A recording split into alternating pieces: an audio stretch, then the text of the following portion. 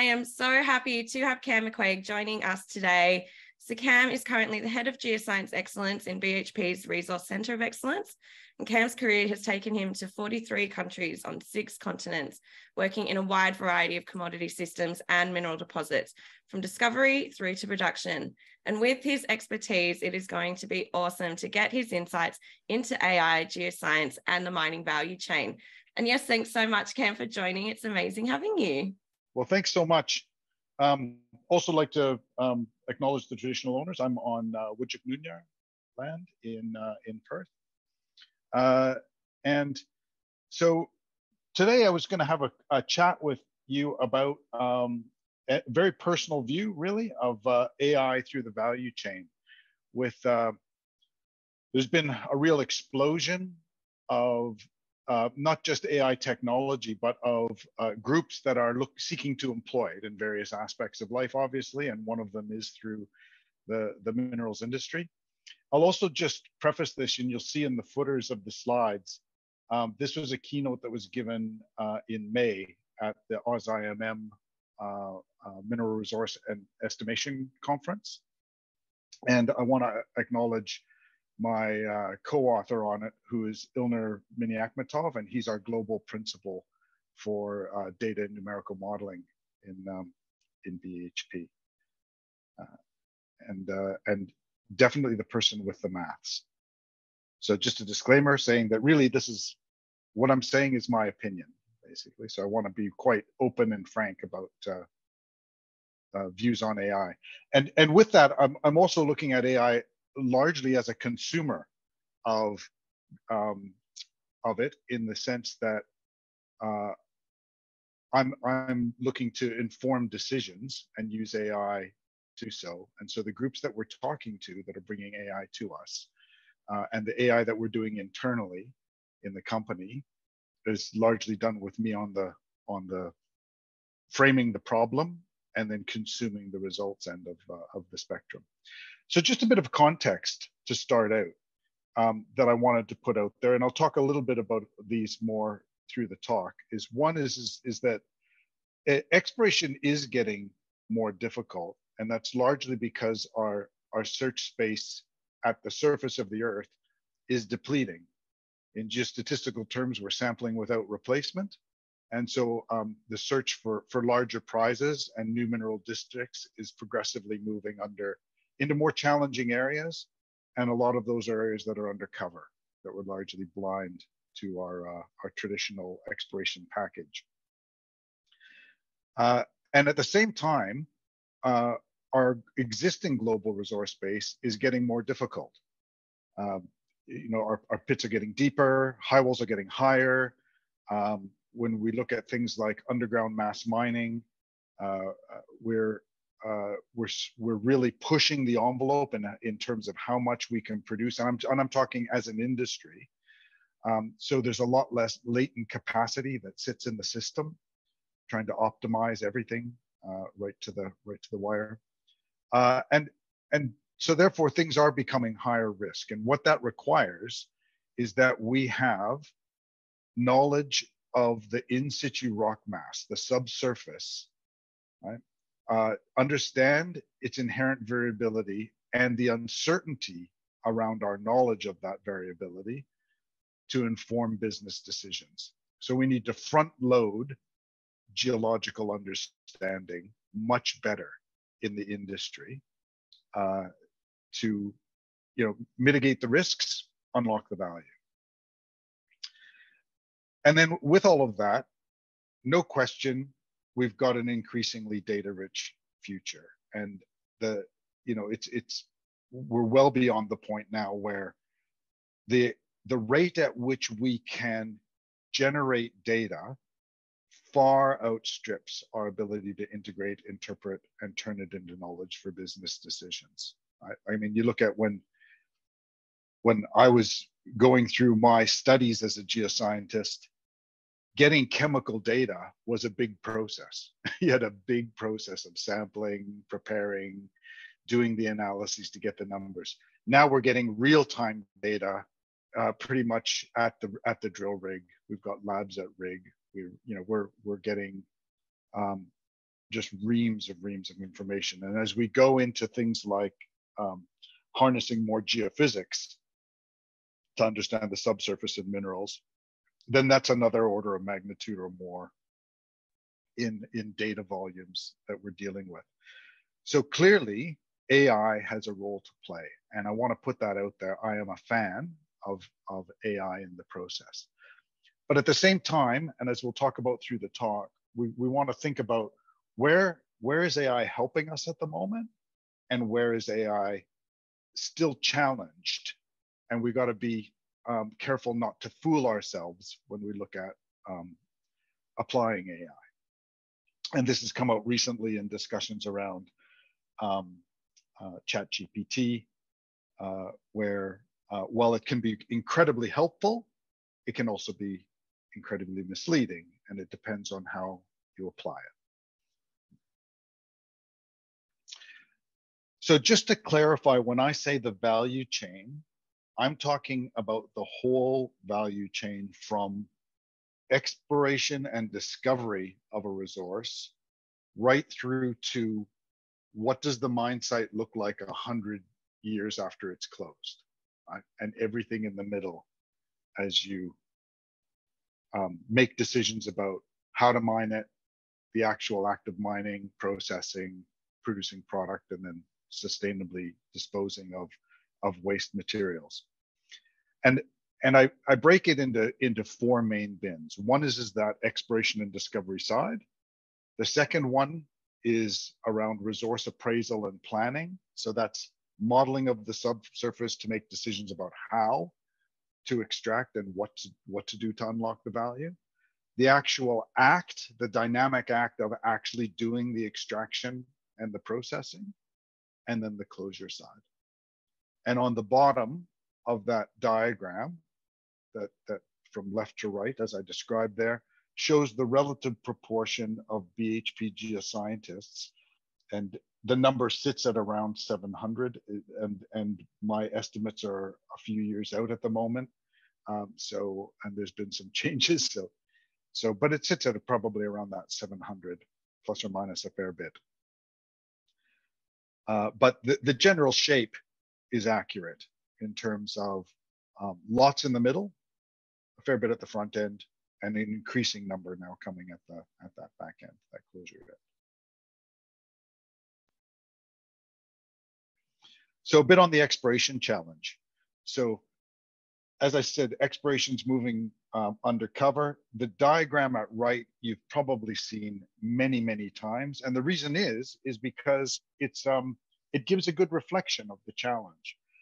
And what it is, is a map of Australia that's color coded by um, the solid colors are depth to economic basement. Now that economic basement depends on what you're looking for and who you are, because some people's cover is other people's resource, and I understand that. But this is depth to crystalline basement. And it also shows deposits colored by depth to the top of mineralization. And what we see is, is that most deposits correlate pretty one to one with areas of outcrop or subcrop. And that's because that's what our exploration package, our, our technology package that we employ is optimized to do, is to find in these areas. And as you go into the areas under cover, there's there's clearly going to be a lot of value there, but it's costly. It's it's higher to explore per unit area. Um, the prize hurdles are larger in terms of what's going to be economic at various depths. And when you when you combine on in concert with that, the fact that ground access is increasingly more challenging, license to operate is uh, is is always more challenging uh, and more complex. It it means that it's it is much higher risk, but really high reward if successful. So focusing our people, time, and money into the areas with the highest probability of success is a is an even more critical first step because if we go into the wrong areas doesn't matter how good we are in terms of our exploration process it's not going to be there to find and it's going to be expensive to find that out. So what we want to do is make that first decision well. So how can AI help us in that space? And that's really the big question is can AI help us with that challenge? When you come into the actual mining process, we're in a situation where we've we've automated a lot of processes. For example, we've we've um, taken people out of the line of fire by automated drilling, and now we're getting a lot of automated information coming from the drill holes. We're measuring while drilling to get physical parameters. We've got downhole assay tools, uh, real-time geochemistry at, uh, um, uh, from uh, uh, you know labs at rig. So we're getting these fire hoses of information that we're then trying to collate in ever increasing computing power, uh, doing automated interpretation, um, getting towards real-time model updates, and then at the very bottom, um, what uh, into the future, we foresee looking at um, harnessing geophysics a lot more in and around the mine to, to go from sampling pencils in space and quantifying them and using geological rules and geostatistics to get a picture of a volume of rock to actually using geophysics to sample volumes of rock, getting information on the volume calibrated to those pencils and getting a much better view of the rock mass. Right? And then that, as I said before, brings you up a whole new level of data challenge, right? And then you're going into the petabytes of information that you're trying to move around, process, etc. And so trying to fuse all that information and get knowledge out of it that you can then a knowledge product that you can make a decision on is a real challenge. And so how can AI help us in that space? So where's AI helping? So if you look at the left-hand side, the, the diagram just shows the different, uh, some different subsets of, of AI from general AI, which is any technique that's using a computer to help you make the decision, to machine learning, to deep learning. And with all of these, it's, I think it's important to step back and say, what is it that AI actually does? And it doesn't matter how complex the algorithms, they're essentially doing one of two things. They're either doing classification or categorization, right? It's a face, it's not a face, that type of uh, effort. And, and there's areas where that is really going to help us in the future and is helping us, starting to help us now. For example, core logging um, it helps to remove subjectivity. So the days of me saying it's 10% pyrite and then some geologist tapping me on the shoulder and saying, uh, Cam, it's actually chalcopyrite and it's more like 5%.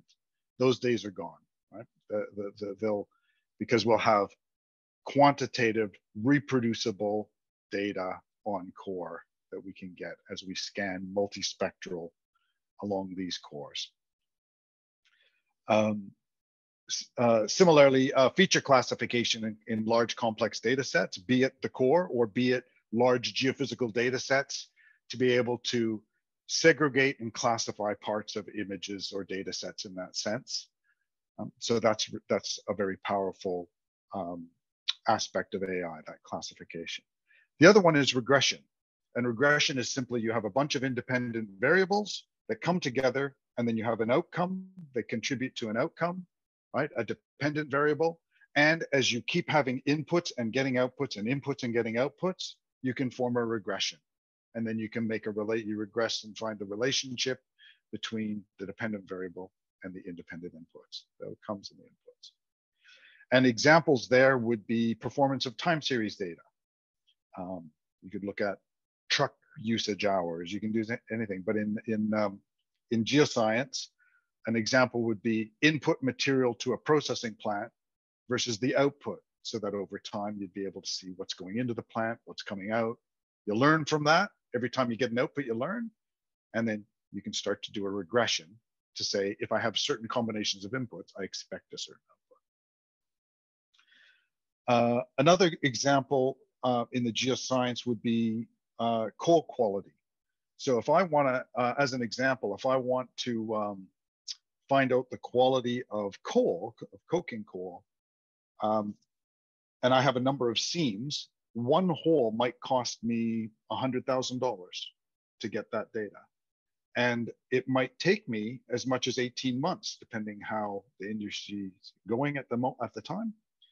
And so if I could find proxies that I could use at or near the hole for a fraction of that to get 80% of the answer, that would be quite useful. Right? And then that would be a that would be one of AI. Could you you could use that to uh, regress that information. And then you can combine the two by having in situ classification of expected performance. So you so you could get much better understanding of the in situ rock mass from your core logging using the classification. You could then be measuring outputs of the plant every time you put certain blocks of ore through the plant. And eventually you could get a regression where you've got the categorized data, the resource estimate, and then you can basically be able to predict what's going to come out the other end. Right? So that would be an example where AI is using both. So lots of room for AI to add a lot of value. I've just given a couple of examples. I'm sure as I was speaking, people had a number of other examples coming into their head. So uh, the the end-to-end geometallurgy, I think, is a is a really good one, and it's it's because we can get a big training set, right? So we can get we can have uh, an input from our model. We've got a certain tons, grade, mineralogy. We put it through the plant and we can sample it on belts. We can see what's going into the plant and we get an output.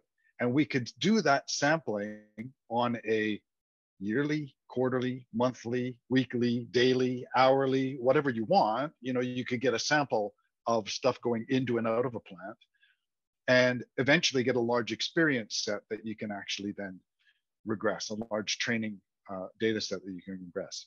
And a great example, this is from uh, Kathy Ehrig, who's one of the world's um, greatest geometallurgists at Olympic Dam. She's done absolutely exceptional work over time, her and the Olympic Dam team, uh, where when they look at a model, they can not only get the mineralogy from chemistry now, because they've got enough data, but they can then start to make predictions as to how that's going to perform in the plant through you know what's it going to mean for my reagents in certain parts of the plant through to what's my concentrate going to look like and basically start to put value on blocks of rock.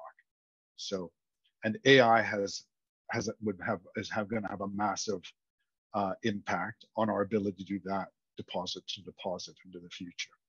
So that's a great example of where i think it has real real value even now. Where is AI challenged? And AI becomes challenged when you move into spatial data sets. When you start to go geospatial, other than just time series, it takes um, it, it takes just geostatistics and and uh, and it takes AI into a, a whole new world of hurt really. And the reason are is that number one, in um, you've got sparse training points, you've got uh, variable resolution of your data sets uh, or representativeness of data points because you've got one sample and you don't know how well that is actually representing the rock around it before you get to your next sample at whatever spacing that is. Uh, it um, you, you need a spatial model still to connect and predict between your data points. Right? In geostats, we use variography. So you still need some sort of spatial, um, yeah, spatial model to do the, to connect the dots. And the, the algorithms, as they iterate through, can find spurious correlations then they, that then get reinforced in subsequent iterations. So you can have spurious correlations that the AI starts to think are super important and actually aren't. overfitting is really common. So, and, and what that means is that you've got way more data sets and data than you've got training, like truth, actual uh, outcomes to learn against. And so um, you you get into what's called overfitting, so that you see what you want to see, in a way, and you get a false sense of precision. And unwinding the machine learning process to find the dependencies in specific data sets is actually very hard. It's not straightforward. So knowing what is the lever that's causing that outcome, what's the sensitivity is difficult. In exploration, um, one of the challenges is that AI is fundamentally an interpolation exercise. It's a, it's it's it's you're deducing between points, whereas whereas exploration is actually an extrapolation exercise. You're looking outside of your data sets, and it's much more of an inductive uh, process. And it's also a challenge in an extremely complex system. You've got multiple parameters, it's 3D, it's multi-scale, and you've got the aspect of geological time on, on top of that, that are all hard to represent into the machine learning process, especially the multi-scale geological time. So what I want to do is I want to give you an example of where we did um, an exercise trying to apply AI to, to targeting. And so you can see on the left-hand side, we've got an area that's about 800 kilometers by at the widest point, a couple hundred kilometers. And we've got a number of data sets over the area. The, the uh, ultimate outcome, obviously, that we want is the is the targets, data-driven targeting aids. But then the subset, the bottom right, is we want insights. What are we learning from trying to do this? Okay, so th this is the basically the process. Without going into detail, we we looked at um, uh, gridding the data at a, at a, at a range of, of uh, resolutions, and then engineering a lot of features so that we actually do a lot of derivative spatial data sets from the input data sets. We then look at them against the training data sets. You select a subset which you then go into doing your, your models and you get an aggregated model of the prospectivity on the, on the right-hand side. So you can see that from uh, a couple of hundred um, data sets, in, input data sets, we could engineer a couple hundred thousand uh, feature sets, which then we looked at against the training data and selected sets that went into the model. Now, the, the issue here we found was that the data was way overfit. And by that, I mean, we had a hundred data sets that we were that we were um, using, but in the area, there's really only 10 deposits that we would be interested in having? So it's um, the issue here is we don't have the experience data set, right? Because it's not made for big data. So for example, uh, to, to illustrate this, I use the, the, the game Super Mario, right? There is an algorithm that plays Super Mario better than any human being. How did they do that? Well, in using the AI, they gave it three objectives. The first one was uh, maximize your life. The second one was uh, get through a level as fast as you can so that you don't just like stand at the beginning and not die. And then the third one is uh, maximize your points as you go through, right? So you can give it those types of objectives, prioritize in that order. And so what does the what does the AI do? It starts playing the game and it dies. It goes another two seconds, it dies. It goes another couple second, dies. Another, and each time it goes through, it dies. It does that a million times, right? Or more. And each death is an experience point. So that by the end, I know that I've got this big experience data set that I can then optimize against my independent inputs as I go through, and I can actually have an algorithm that now plays Super Mario better than any human because I have a big experience database, um, and, and and I can navigate through that. The issue here is, is we don't have a big experience data set uh, database. And that's the that's the challenge when people go to apply AI, they say, oh, I've got massive data sets. Clearly, this is uh, uh, a, a place for AI. AI is not built for big data sets. It's built for big experience sets. I need to know the outcome. And if I have a big outcome database, I can then optimize to understand how to deal with inputs. Here, we had 10 deposits. So that's like saying to the computer, we want you to play exploration better than any human being, but you only get 10 tries. Right? Not a million deaths like in our Super, uh, Super Mario. And so what we really found was that the biggest insights were at the bottom right there. It was the analytical insights, uh, insights about data and patterns.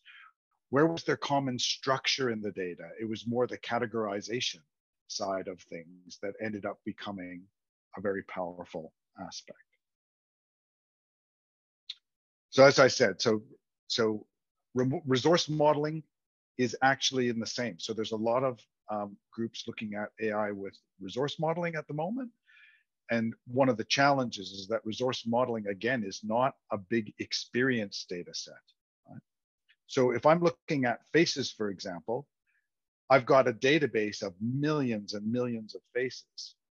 And each of them have some similar features. You know, they're roughly oval, they've got two ears, two eyes, and one nose, one mouth, right? So you've got some basic rules that you're uh, applying. However, I've got really relatively a handful of sparse data from unique deposits with different features when I'm trying to do the resource side. And they all have enough variation that they're unique. There's no, there's, there's very few common principles. So key aspects of, of limitations for AI in the resource side are listed on the left on the left side. So number one is non-stationarity or representativeness. So the representative of one, the representativeness of one data point for, to the volume of rock around it until you get to the next data point is highly uncertain. And you need spatial models to be able to understand how well you can join the dots. Uh, and this example here, if I, if um, this is from uh, this is real data actually, um, and humans have this this problem too, right? So what are you going to do if you if you're given this, and you say join the dots? You you'd say that in the the the high grade in that oval is likely connected,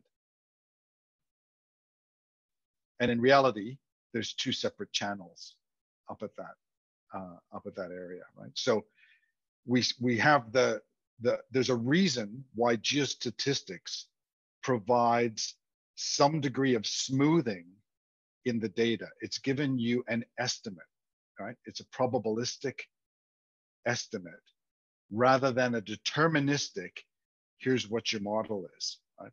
And when you get these ultra granular outputs, that's when you that's when you end up being concerned because if you did, for example, conditional simulation, you could find a range of possibilities that would honor this, right? So, uh, and we don't we don't have the null data points to uh, and the experience data set to be able to do these in, in great detail yet in resource estimation. But in the future, um, the AI is helping us find common structure in data. It's helping us synthesize multi-parameter, multi-dimensional, because you know humans can think okay in three dimensions. Um, a computer can think in as many dimensions as you want.